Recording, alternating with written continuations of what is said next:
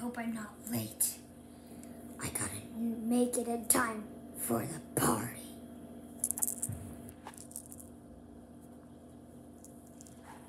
Chapter 1 features a new character, and it's gonna come and I Don't Know.